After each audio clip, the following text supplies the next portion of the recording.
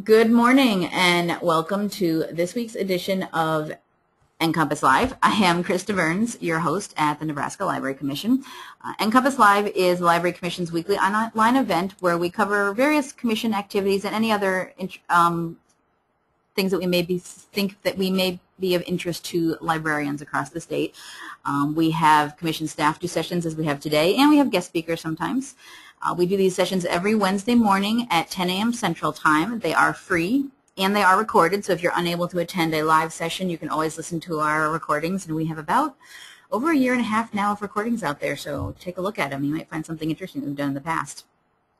Um, and we do a mixture of all sorts of different things. We do presentations, we do little, sometimes called mini, mini training sessions, interviews, um, web tours, just um, interviews with people. All sorts of different things are out there that you can um, find. Um, this morning we have Susan Nisley from here at the Library Commission who's going to um, talk about Heritage Quest Online, um, one of the databases we have available through our Nebraska Access. So I'm going to pass things over to her and let her take it away. Okay, thanks Christa.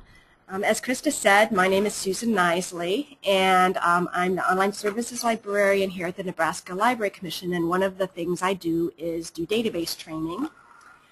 And the database we are going to talk about today is Heritage Quest Online. And I want to start out giving you a bit of background about what is Heritage Quest Online. Um, it's an online genealogy and local history database, and it's designed specific, specifically for patrons in public libraries. Um, there used to be a commercial version of Heritage Quest Online available, and that sometimes caused some confusion. Um, I did some recent searching and I wasn't able to find uh, the commercial site anymore, so I'm not uh, aware of whether or not that has um, that has ceased. Um, this is one of a number of different databases that we provide statewide access to through the Nebraska um, Library Commission's database program. Um, and um, it can be accessed via our Nebraska Access databases page um, using a password uh, that uh, can be obtained from your local library or a Nebraska driver's license or state ID number. So this is something that patrons can access from home. Um, and I think it is a fairly popular database for people to access from home since genealogy is uh, a um, a strong area of interest for lots of uh, our residents in Nebraska. Um, you can go to the main Nebraska Access homepage and click on a link to access the databases page. Or um, I've included uh, the URL down here at the bottom that takes you straight to the page that lists all the databases. Um, the census uh, is the mainstay of Heritage Quest Online, but it actually is up to six different modules now in Heritage Quest Online. Um, there's the United States Federal Census from 1790 to 1930. Um, there is a books module which contains a digitized version of a ProQuest microfilm collection, the genealogy and local history uh, files, which consists of over 28,000 uh, family and local history books that have been digitized. Um, a third module is PERSI, the Periodical Source Index, uh, put out uh, by Allen County Public Library Foundation. Revolu Revolutionary War Era Pension and Bounty Land Warrant Application Files, Freedmen's Bank Registers, and most recently, um, they added uh, U.S. serial set files, specifically memorials, petitions, and private relief actions. Um, we're going to spend the majority of our time this morning talking about the census because that is probably the most popular uh, module or file within Heritage Quest Online. But I will try to at least um, touch on the other files, time permitting. Um, I think that searching the uh, U.S. Census through Heritage Quest online is not particularly intuitive. Um, the more background information you have about how the searching works and how the files are set up, uh, the more successful you will be. So I do have quite a few tips and tricks that I want to pass on to you before we actually um, do any searching. Um, as I said, um, Heritage Quest Online contains digitized images of each of the decennial censuses from 1790 to 1930. Um, a common question that you will get from patrons is why can't I search the 1940 census or the 1950 census? Mm -hmm. um, experienced genealogists will know the answer, but if it's somebody just getting started, they may not, may, might not be aware of this. But census records um, are, uh, access to census records is restricted for 72 years. Um, this is done for privacy considerations. Um, at the uh, reason it's 72 years is that was the average lifespan at the time that the legislation was passed. Um, so what that means is that the 1940 census files won't be released until, until 2012. So that is something that's coming up and will be interesting to um, see if those files get added to Heritage Quest Online or not. So um, it's only 1790 through 1930. Do, do, you know, Susan, I know this is very similar to like copyright and that kind of mm -hmm. thing of also until the author is dead and whatnot. Has that, there been any move to change this at all on the on this side of it, or do people really not care as much and they're like, yeah, sure, 72 sounds good? um, mm, mm, that's something I don't really have any okay, idea of, yeah. and um, that sort of brings up a point um, that I'm really not a genealogist, mm.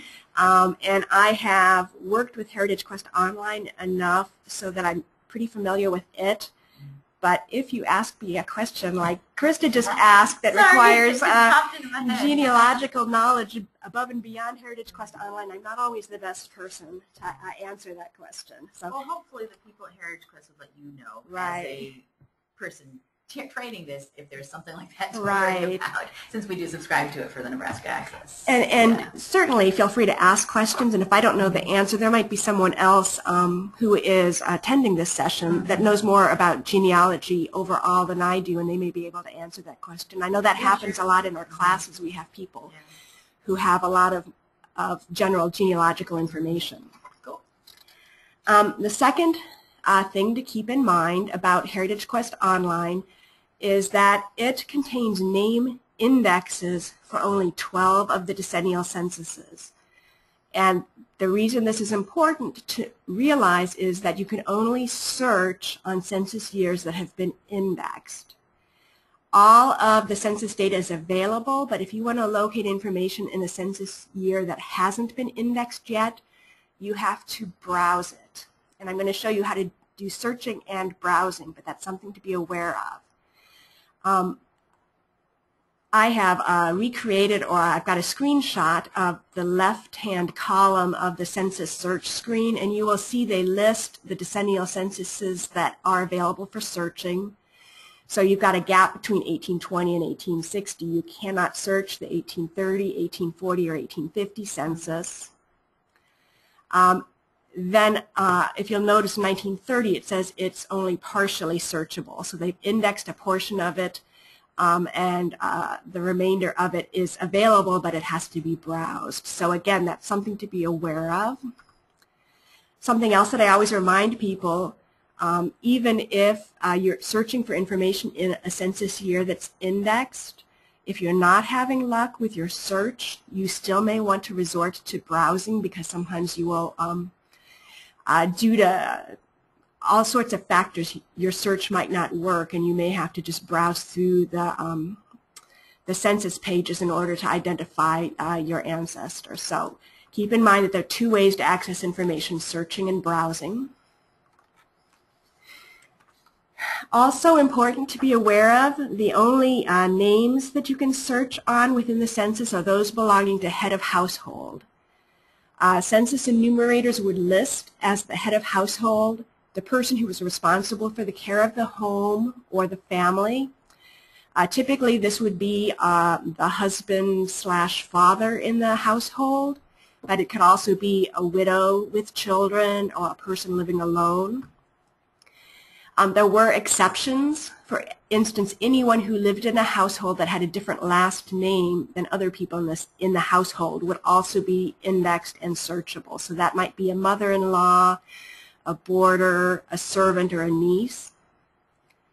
Also, all individuals who are living in institutions such as schools or prisons or hospitals would be individually um, indexed. So again, they're searchable. Um,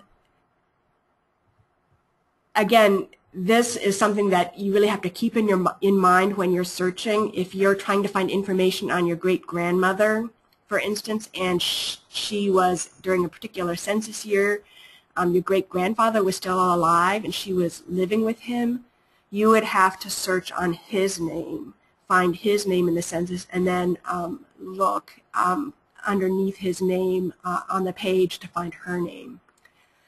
Also, if you're looking for your great-grandfather and you happen to be looking or searching in a particular census year in which he would have been a child, you're not going to be able to find him searching on his name. You're going to have to search on the head of household name, so probably his father's name. So that that's information that can make a big difference in the effectiveness of your search. So just keep that in mind. You have to be able to search on the head of household name. Um, the 1890 census. Um, if you have um, people who are hardcore genealogists, they will know that over 99% of the 1890 census was destroyed by fire. Um, so there's just a small uh, fragment left with about 6,000 names on it. And I've listed some of the states from which that uh, uh, information is still available. So you can search for your ancestors in the 1890 census, but uh, it, the chances of finding uh, your particular relatives in that uh, census are slim. Um, if, if you, might get lucky, but um, the odds are stacked against you, I think. So that, again, is something to be aware of. And of course, Nebraska is not listed. Right, of course, Nebraska is not listed, yeah. And even within these states, I didn't go down and list this information. It's particular counties. Yeah. So even with these states, there's no guarantee that um, you're going to have luck. Okay, um, I just want to go ahead and go through um, the other files quickly here too um, and just talk a little bit about them before we actually go out live and do the searching. Um, the book search, as I said, lets you look for information on people and places described in over 28,000 family and local history books. And um, keep in mind that um, there are lots of local history books that are uh, Nebraska specific. So there are county histories that you will find in here, um, information about particular cities, information about the state as a whole. So you can find Nebraska related books um, in this file. Now this is both a positive and a negative. Every word of every book is searchable, so it's a very powerful um, search that you can perform. You can find a passing reference to a name um, in a book. The downside is that you can get overwhelmed with results as well. You don't necessarily want to do a search for Nebraska um, in a book. You're going to get possibly thousands of results. So um, it's powerful, but you can also get overwhelmed. Um, there are four search options, and we'll go through these once we're actually out live on the site. You can search for people, places, you can browse publications, and you can search publications.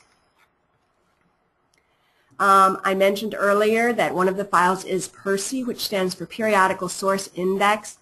And this is a subject index to articles in uh, 6,500 plus genealogy and local history periodicals. And these are the types of publications that you're not going to find indexed in standard periodical indexes like EBSCO or Wilson. These are um, not in all cases, but in a lot of cases, these are small publications put out by local uh, historical societies or genealogical societies. And so um, it's really uh, hard to get access to that kind of information. And so PERSI is a great uh, way to get access to that, to those types of articles that are in those um, hard-to-find periodicals. Um, it's produced in cooperation with the Allen County Public Library Foundation in Fort Wayne, Indiana, and it's based on their holdings. So they actually own all the periodicals that um, the indexed articles appear in. Um, unfortunately, there's no full text um, available through this periodical database. Uh, it's just brief citations, so you would then have to go out and either request the article through interlibrary loan, which you certainly can do, um, or uh, there is a form that allows you to request it directly from the Allen County Public Library, and I'll show you how to get access to that form as well. Just to give you a little bit of background on the Revolutionary War pension and bounty land application files, um, beginning in 1776 and continuing into the mid-1800s, um, the U.S. Congress passed legislation that provided pensions to um, individuals who served in the Revolutionary War. And over time, they would pass um, additional legislation that would um, broaden or change the criteria that um, people had to meet in order to be eligible for these pensions or bounty land warrants, which is why over the years you have more and more people applying as the uh, requirements changed. So it started out, um, if you were disabled while you were serving in the Revolutionary War, you were eligible to apply. Um, then it became veterans who had served a certain number of years. Um, eventually, widows whose husbands had been killed in the war could apply, and then widows of veterans who had served a certain number of years. Um, the reason that these files are of interest to genealogists is that, first of all, um, people had to provide some sort of evidence or documentation that they had served in the military during the Revolutionary War, so you often have um, sworn affidavits talking about their military service. Um, if the person who is applying for the pension or the bounty land warrant is uh, a spouse or widow or children, then they might have to uh, provide information that um, proved that they were married. They marriage uh, marriage records, birth records, um, wills, things like that. And so genealogists find lots of family history information in these files. Um, the Freedmen's Bank uh, was actually established in 1865 uh, to benefit freed slaves, and it um, served this purpose until 1874 uh, when it uh, went out of business. Um, it's of interest to genealogists because in addition to including the name of the person who had made the deposit, um, the files also often contain information about where the person was born, where they were raised, what their current occupation is, uh, family members, um, parents, children, brothers and sisters. So a lot of personal, um, personal family history information. this uh, screen just lists the type of information that may be found in the register, but certainly not all of this information is available for each uh, record. Um, and actually this is, um, I think this would be an interesting file or an interesting uh, module to use in uh, schools with students who are studying um, the Civil War and the period afterwards because it really does bring the history home in a way that textbooks maybe don't. Um, they track complexion of the person who is making the deposit, which is something that seems incomprehensible to us today. So, you know, whole different time. yeah, and it, I don't But think, it really does, like you say, bring it home.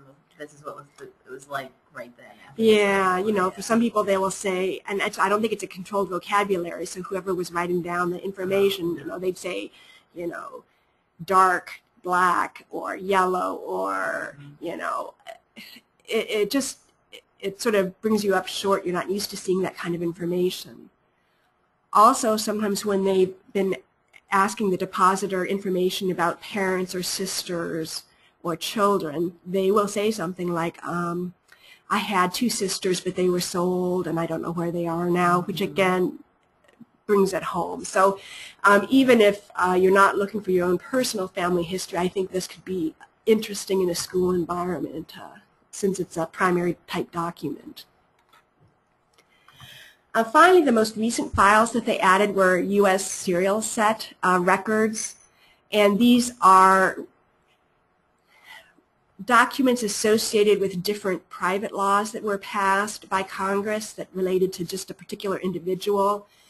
And so you find lots of um, lots of documents related to efforts to, um, for instance, bring an adopted child from another country into the United States or bring a spouse from another country into the United States. They had to get special permission for that. Um, you can find um, claims for restitution for um, losses suffered um, during World War II by Japanese Americans who were sent to um, camps and lost businesses, etc. So again, um, lots of interesting information from a historical point perspective, but also um, if one of these people is your family member, you can find lots of interesting information too.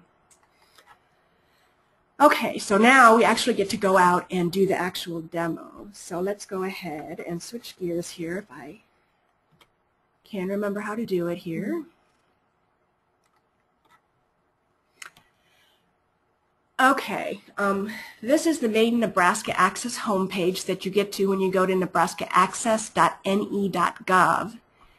Um, from here, in order to access the databases, you can click on Databases Available to Nebraskans.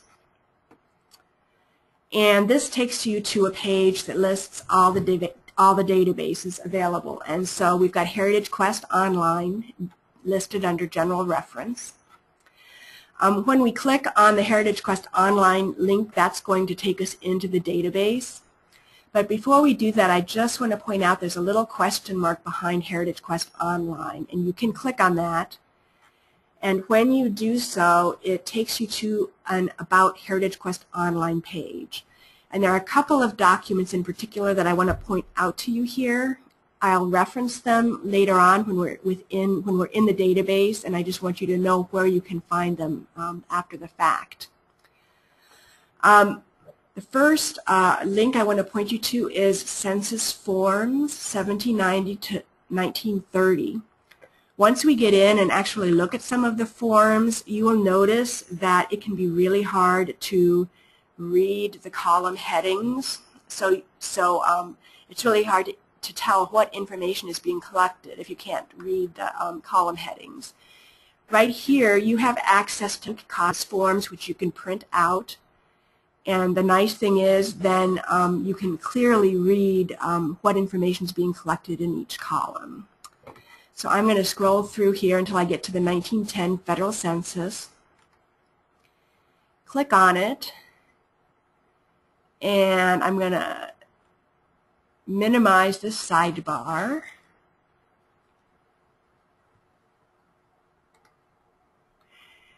And you'll see a copy of the blank census form, and I can actually rotate it here so you can um, see more clearly.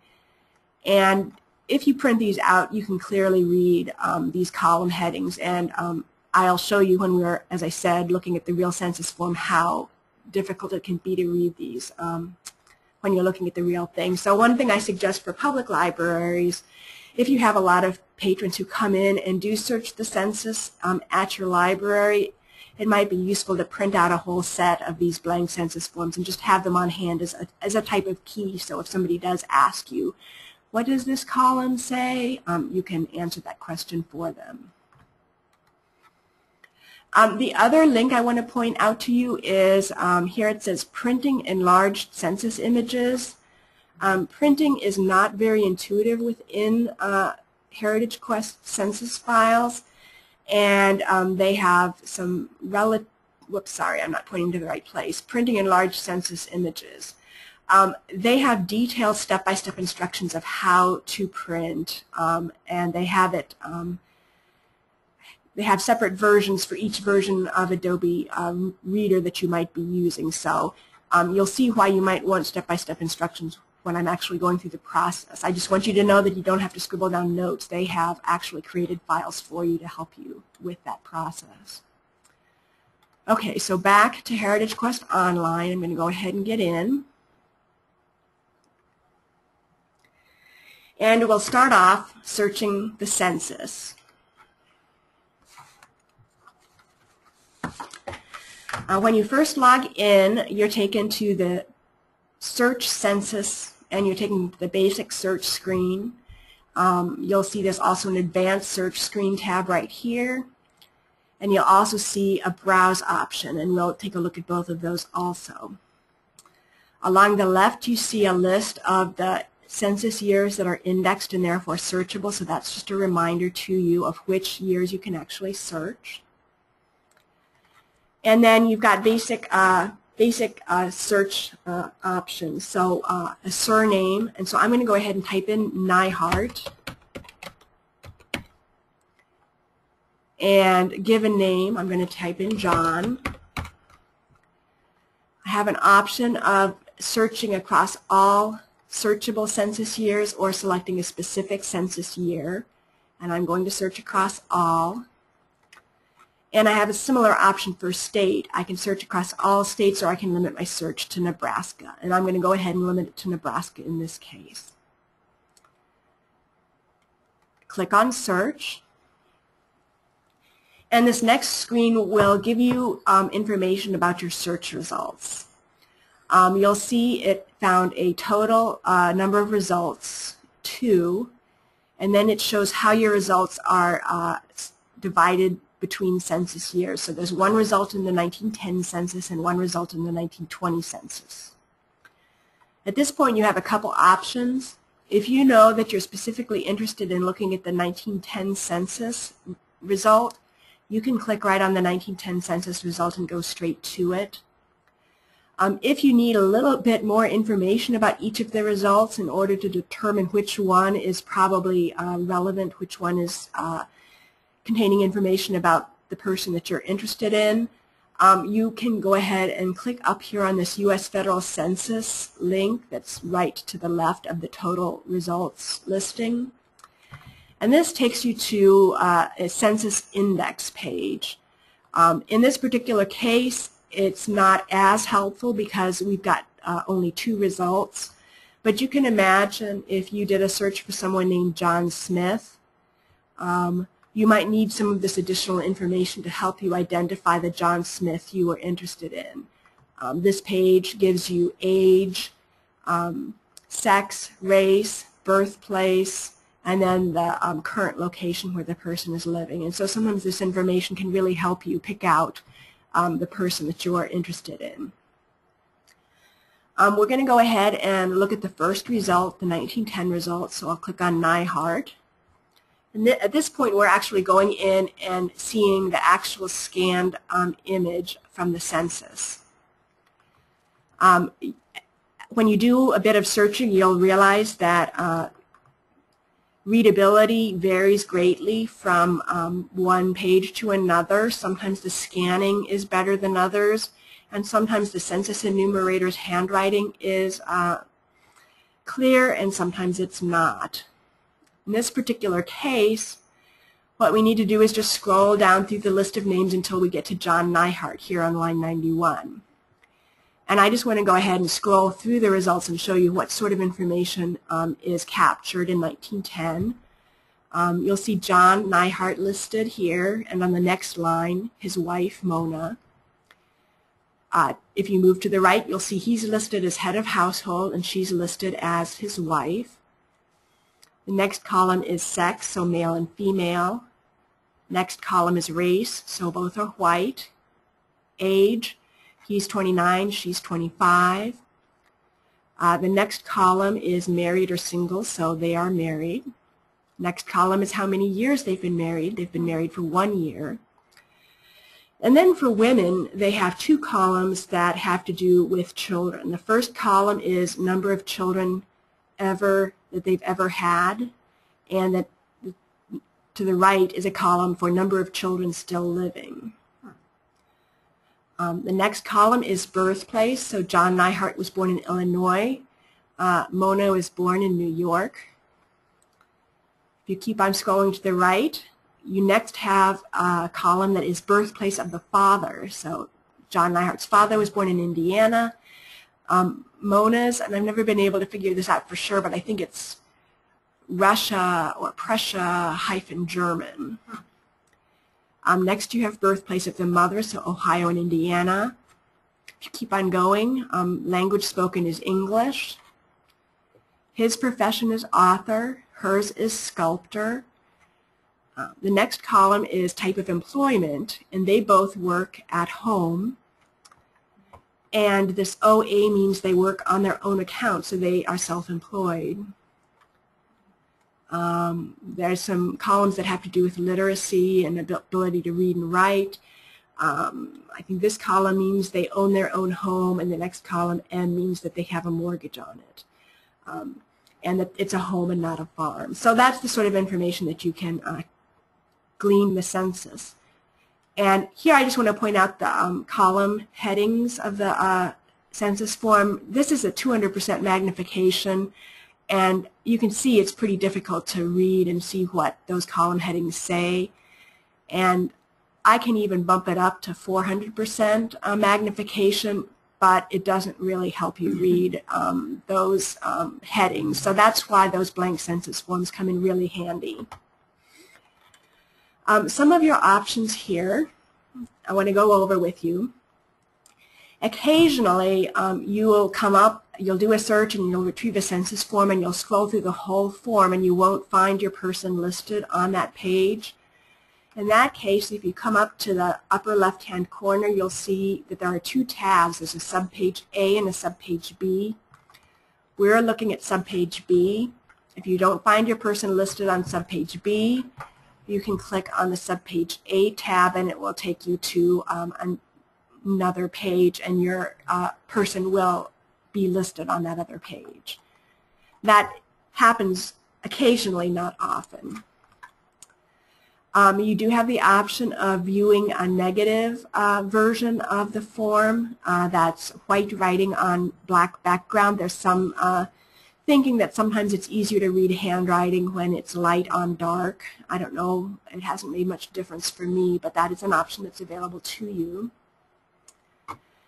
And then you have your print option, and this is where it gets um, non-intuitive and not very user-friendly. When you want to print, you do not click on the print button, as their instructions that you can print out tell you, you want to click on download,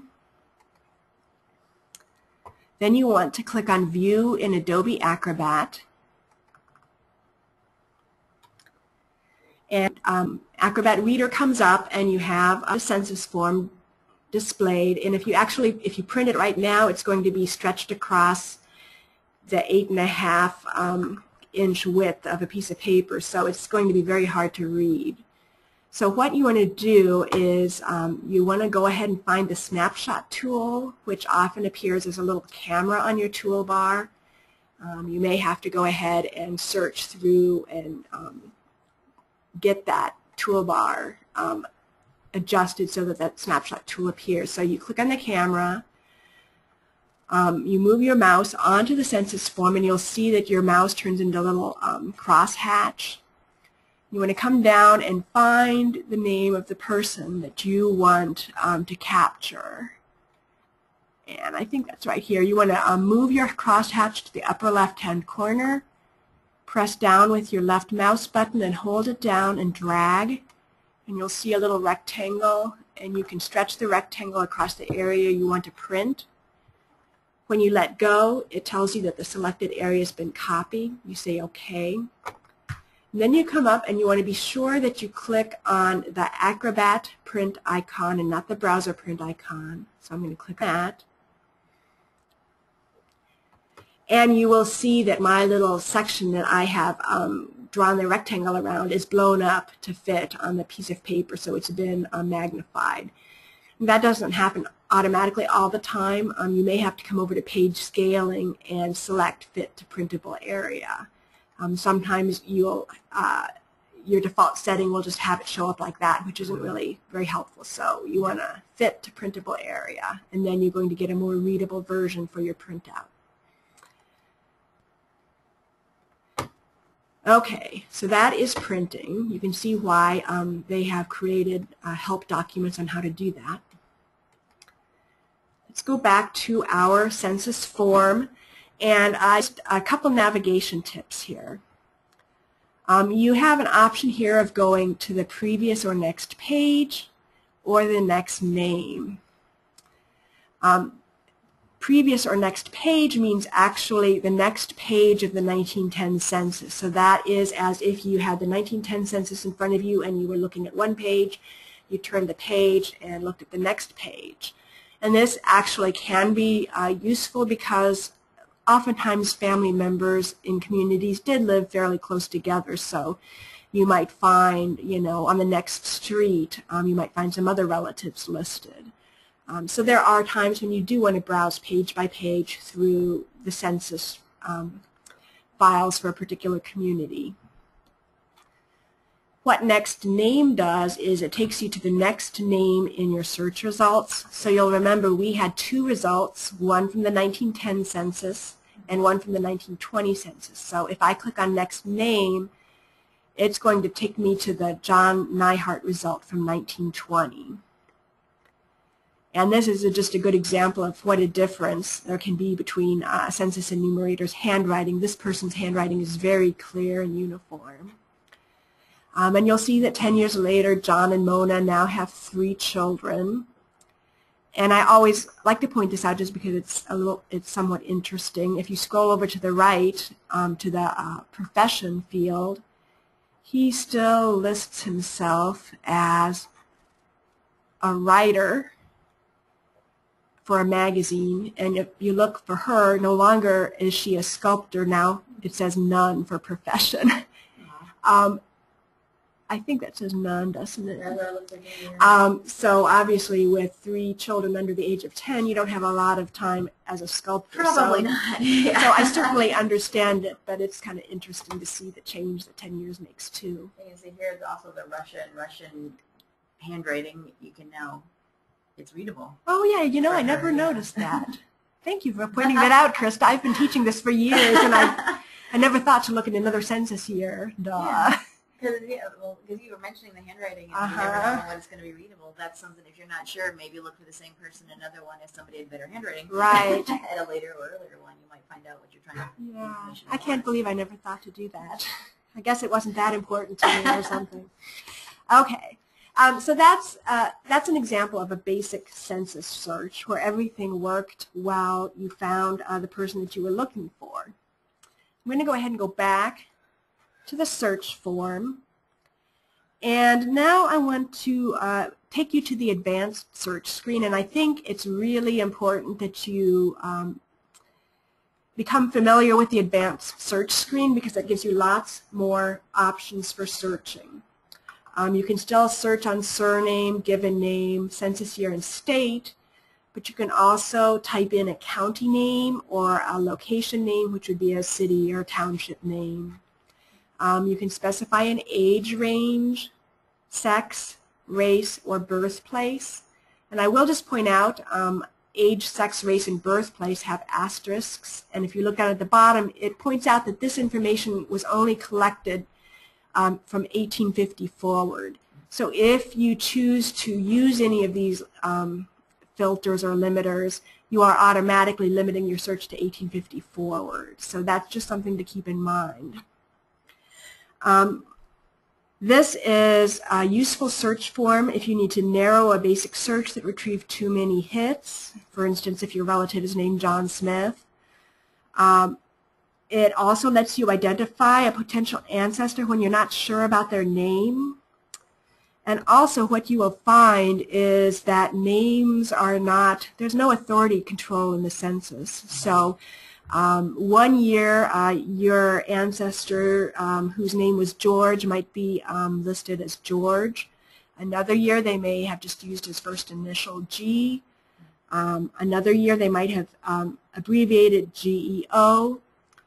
Uh, there are many instances in the census where uh, names are spelled differently from one census year to another, so obviously um, you have to type it in the way it appeared in order to find it. So there are lots of reasons why a name search might not pull up who you're looking for, even if you know that they're there. Um, so you have to be creative as far as finding other ways to search. Um, the example that I always use, I always try to find a family that people have some familiarity with. It's not my family. And, and so the family I've used is Laura Ingalls Wilder, since many people have read those books. And this is just an example of how you might sort of cast about and try to um, basically you're just trying to see what you can come up with, find a hook into the census. So let's say I want to find um, information about Laura's family.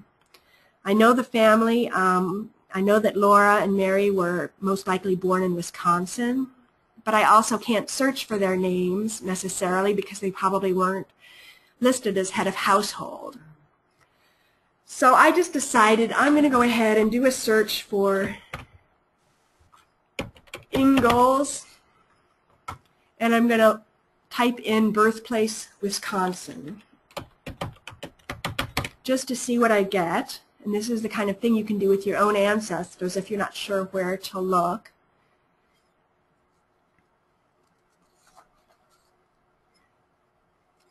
And you'll see I get 281 results, and they're broken down by census year.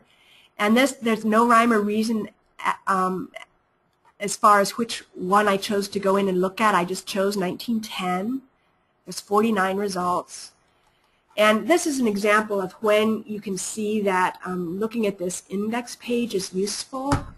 Um, 49 results sounds like a lot, you can very quickly scan through 49 names and pick out which one might be of interest. So I was just scrolling through, and all of a sudden I came to Carolyn Ingalls, age 70, born in Wisconsin, and she's living in DeSmet, South Dakota.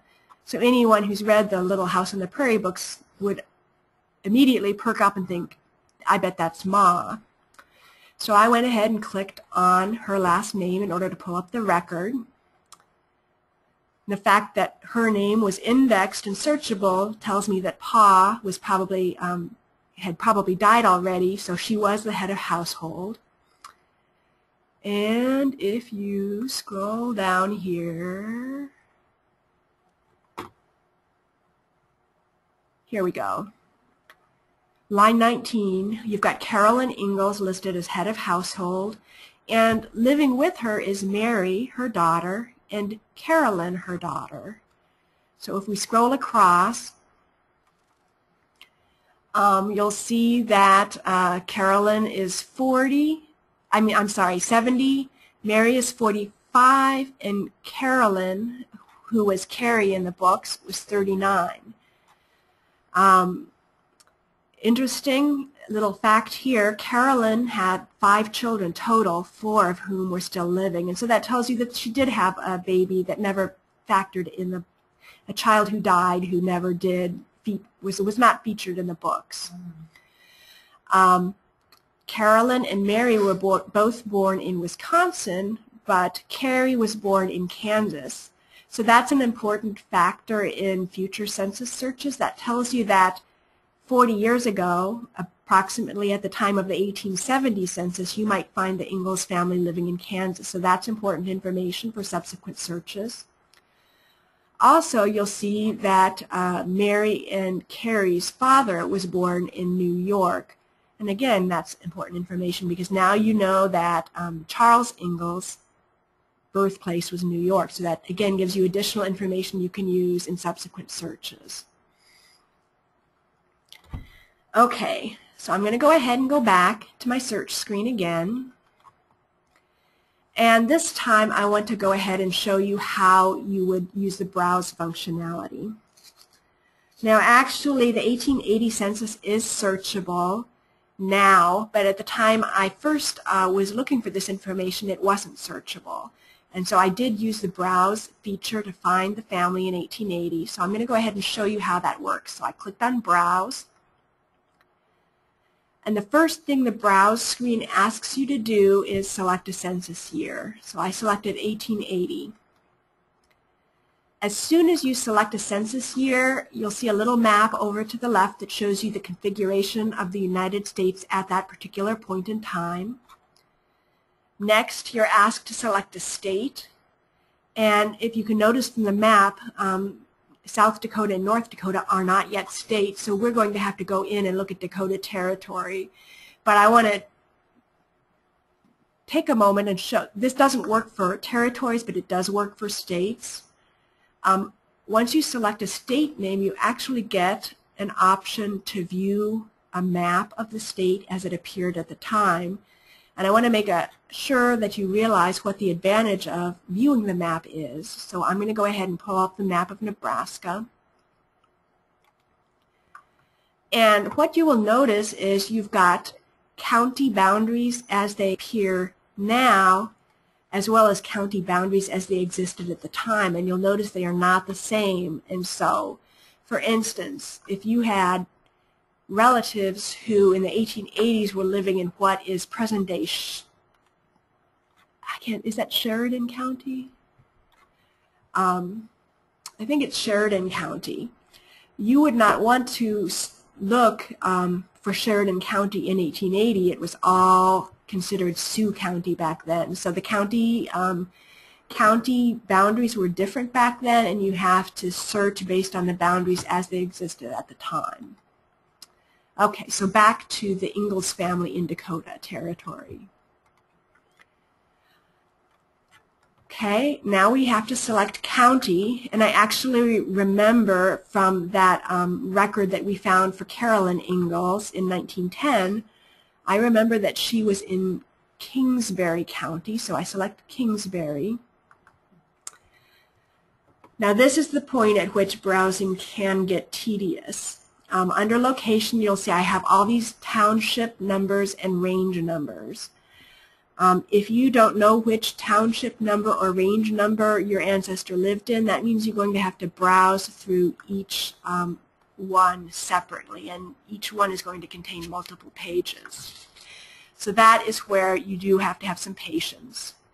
Um, in this particular case, um, the Ingalls are listed on Township 111, Range 56. So I'm going to go ahead and jump right there. And if we scroll through,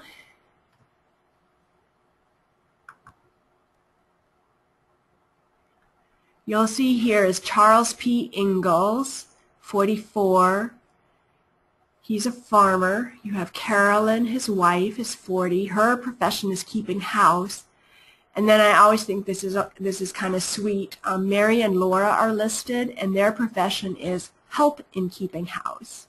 and then you've got the two younger girls. Carolyn is nine, and Grace is three.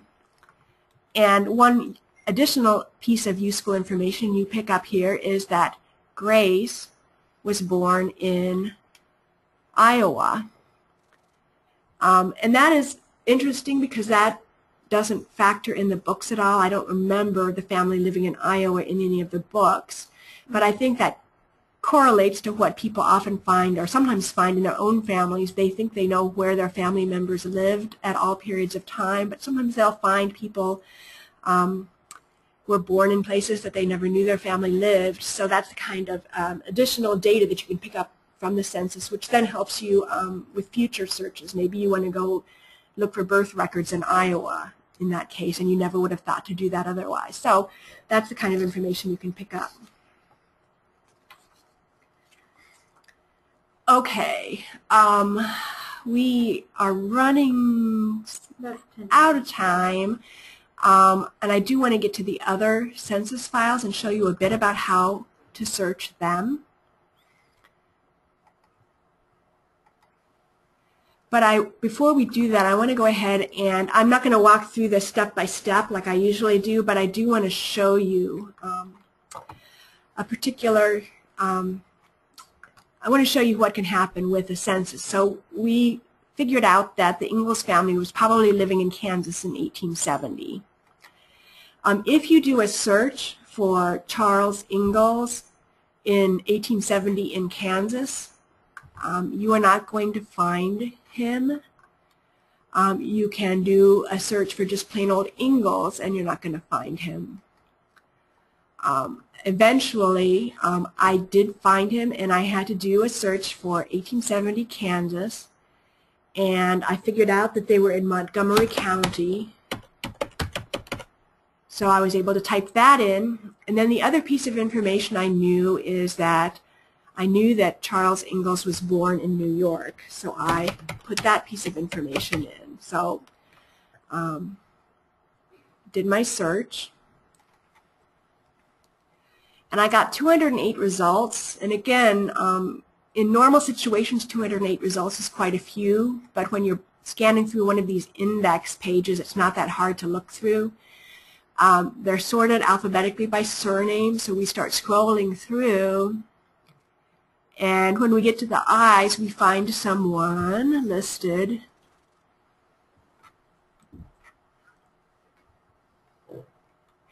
Ingles, I-N-G-L-E-S, C-P, age 34, born in New York. And so if we go in and look at that record, you see C.P. Ingalls, his wife Carolyn, his daughter Mary, his daughter Laura.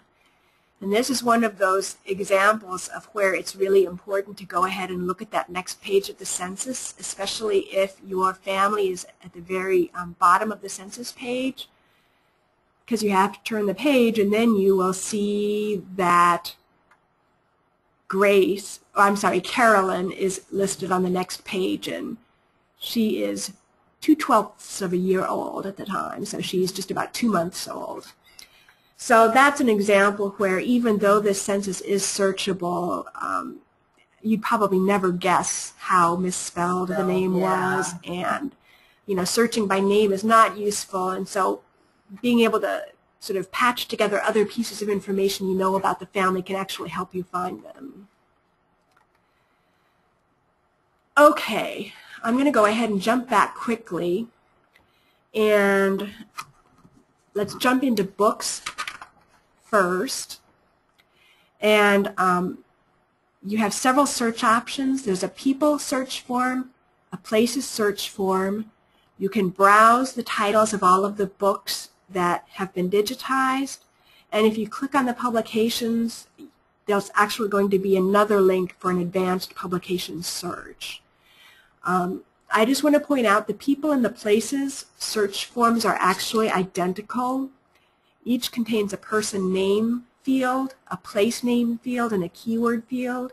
The only difference is that on the people search form, the person names search box appears first, and if we would go to the place, the, the places search, the place names field would appear first. You'll get the exact same results if you perform a similar search or an identical search, but your results are sorted differently depending on um, whether you searched using people or places. The people search form puts more emphasis on when your results are sorted, um, more weight is given to um, occurrences of people, of the person's name, um, if you use the place search form, when your results are sorted, um, place names are weighted more heavily, and just in terms of how their results are arranged. Um, any, if you type a name in the person names box, so I'm typing in George Norris, it is going to look for these two words within four words of each other in either order. So what that does is it lets you you don't have to worry about whether to type the name in first name, last name, or last name, first name. If the name appears with the middle initial in the book, you'll still find it. So person name field looks for both words within four words of each other. I'm going to type in Nebraska and click on search. And you get 297 results. They're sorted by relevancy and the most weight is given to records that contain the name George Norris. Um, if you click on the View Image link, it's going to take you to the first page of the book, and then you can scroll through page by page. Um, if you click on View Hits, it's going to take you to a citation page that also tells you how many total hits. So this says 2,525 excuse me. And you have a table of contents. Um, you can click on a chapter or section title to go to the first page of that chapter. To the left of each chapter, you have a number indicating how many times your search terms appear in that chapter. And if you click on that number link, it will take you to the first page within that chapter that contains a hit what you need to remember, though, is that um, we have no way of knowing which uh, hit represents an occurrence of the word Nebraska and which hit uh, represents an occurrence of George Norris. So if we're looking for references to George Norris, we're going to have to go through and look at every single hit. And as you can imagine, there are lots of occurrences of the word Nebraska in this book. So in that way, this search is a bit tedious. So I can go from hit to hit and scan through the pages and see um, if I find a reference to George Norris or a reference to Nebraska. So this is an example of the fact it's a powerful search, but um, sometimes, you know, it's, it's, you're not necessarily finding both of your search terms on the same page. It can be uh, hundreds of pages apart in the book. So I'm going to go ahead and jump to the publications uh, search option. And you have the browse option first. You can click, for example, I can click on N and it'll, it'll take me to the um, list, the beginning of an alphabetical list of titles that begin with the letter N, which I don't think is particularly useful. I could type in uh, Nebraska and I could go and see all titles that begin with the word Nebraska, but of course all books about Nebraska don't start with the word Nebraska. So again, that's not necessarily that useful.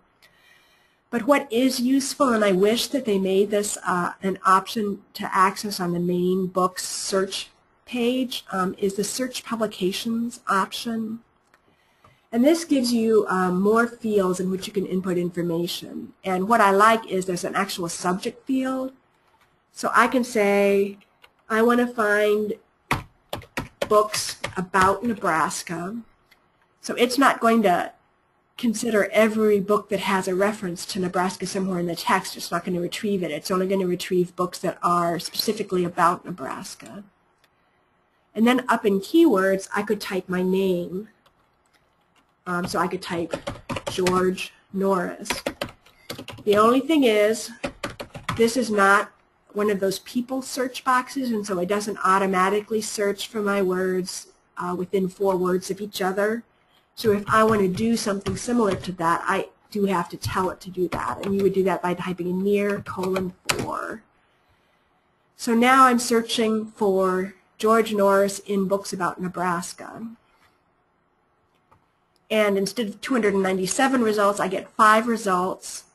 And if I go and look at my hits, every hit is going to be a hit on George Norris. It's not going to be considering the word Nebraska a hit.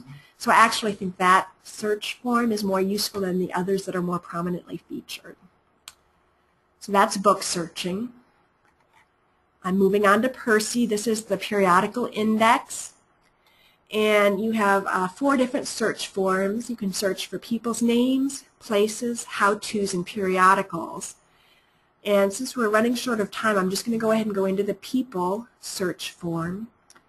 The thing to remember is that these are very brief citation records. There are no abstracts. There's not a lot of, um, you know, they don't have subject headings assigned to them. So you're basically trying to match words that appear within that brief citation record.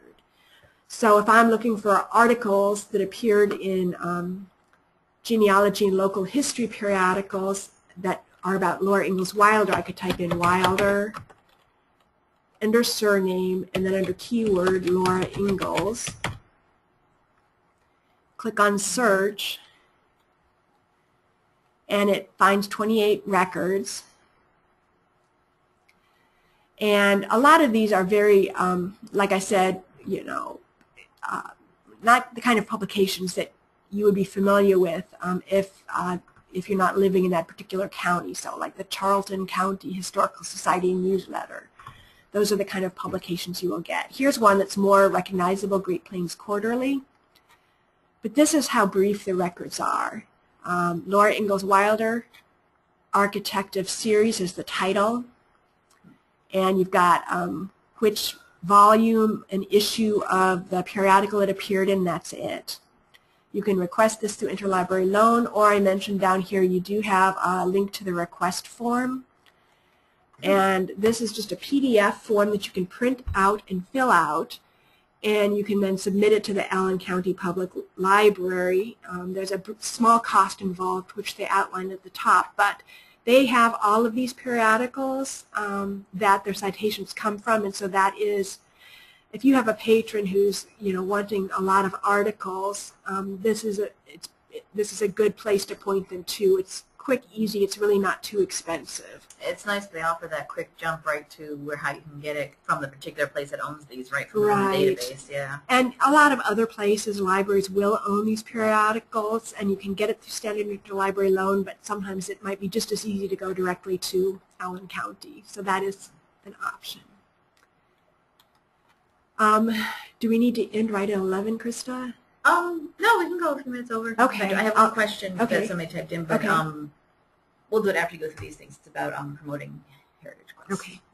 which I know Um.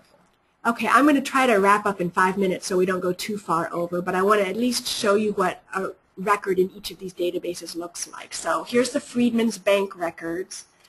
Um, so I have done, I found a record on someone named, see, last name is Marshall. Given name is John. Bank location is Louisiana.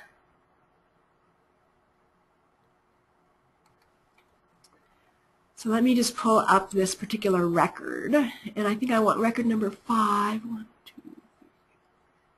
So John Marshall, Louisiana, 1872. You'll actually have um, a digitized image of the handwritten page. So you'll see um, this is a record for John and Charles Marshall, um, ages 10 and 12. It tells you where they were born, and they were brought up in New Orleans. It gives you their address. Um, complexion, this is what I was talking about. They have Y for yellow. Hmm. And then I think this is neat, under occupation, scholar. So they were schoolboys. So I think that's cute. Um, they have information about the parents and brothers and some other information which is hard to read for me. Now, if you scroll down beneath the um, image, they do include transcripts, but they don't always include transcript. They don't always translate all the information or transcribe all the information. But I think this is interesting. In this particular case, it says not signed. This is a joint account between John Marshall and Charles Marshall. And then I like this, money to be drawn only by the mother, Suzanne Marshall. So she doesn't want to give her sons uh, direct access to their funds. So that's um, an example of the type of record you'll find in the Freedmen's Bank files. Under Revolutionary War, I'm going to search on a woman named Myers, Anna, from New York.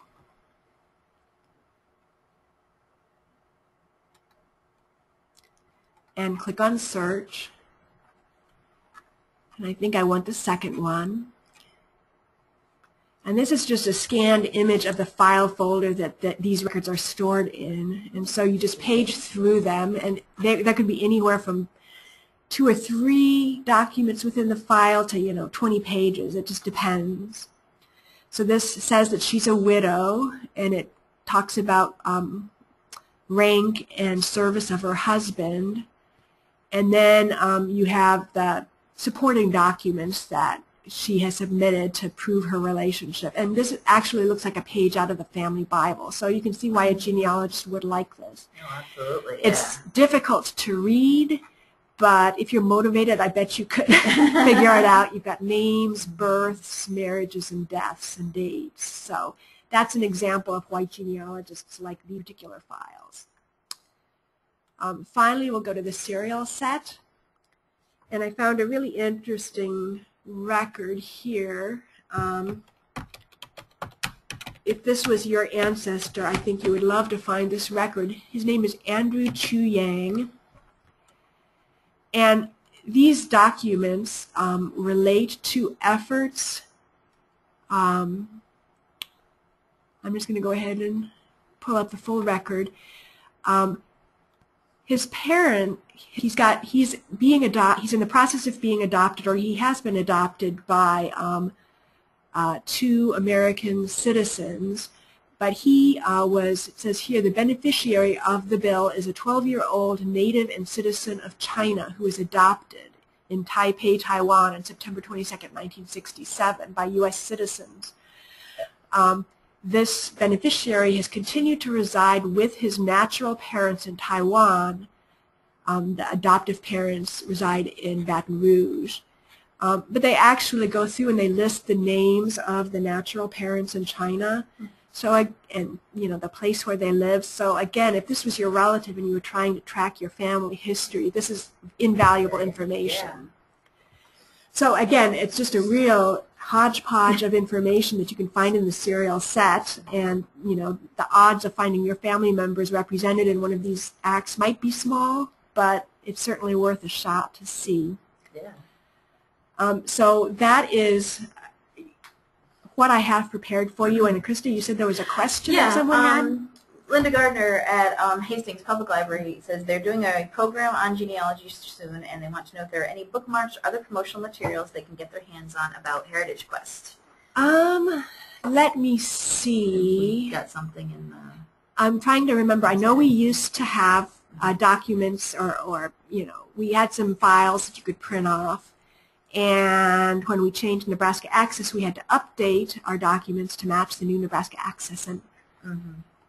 let's go ahead. I'm going to go to Links for Librarians here on the Nebraska Library Commission homepage, and I'm looking for NebraskAccess Toolbox right here. And promotional materials. And I think at this point we might just have, we have a poster that talks about HeritageQuest Online. So that's Hmm, about all we have at there, this yeah. point. Yeah, I think we used to have some. Um, Does here, I know some of the database companies do their own. Did HeritageQuest do anything for themselves, their own on their own? not that we have. So, so I guess the answer is we we have a poster, but we don't really have any bookmarks at this point. But you can definitely print that out and use that to promote your um, program that you're doing. Right, Yeah. you can sure hand that out. It's got the URL that they need to get to it on their own. Um, so that would be something for them. Mhm. Any other questions? Um, that's it right now. Anybody have any other questions you want to toss out before we uh, um, to Susan?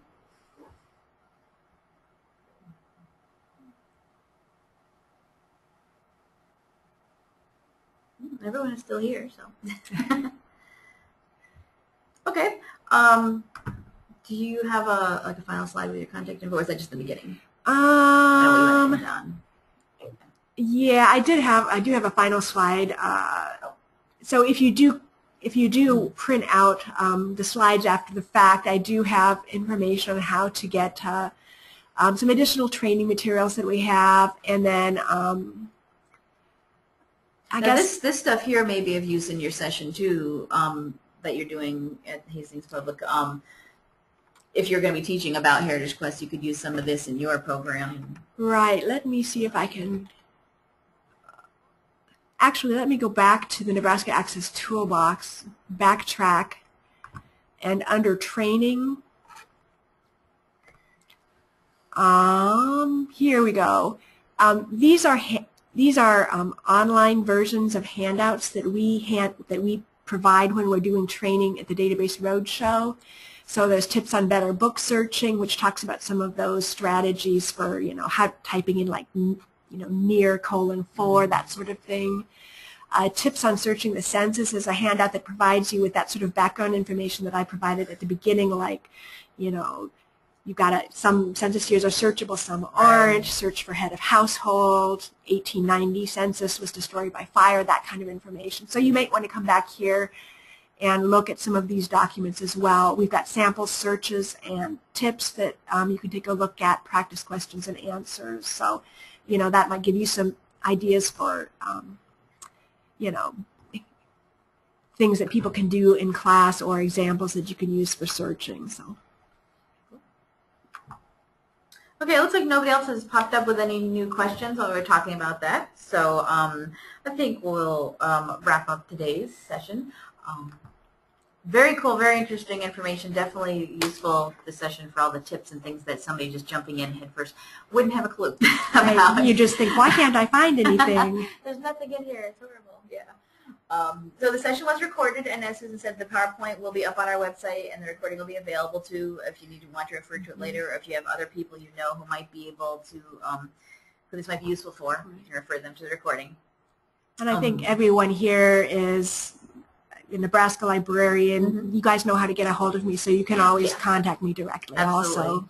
Call Susan if you have any questions as you're using it, trying to figure it out. I will do my best. Always got people saying thanks, Susan, for the session. Um, so that will wrap it up for today's session. Um, next week, we hope you'll join us for next week's NCompass Live, which is a special edition of NCompass Live. Uh, it's called Get Out and Reach, Outreach Projects and Health Information.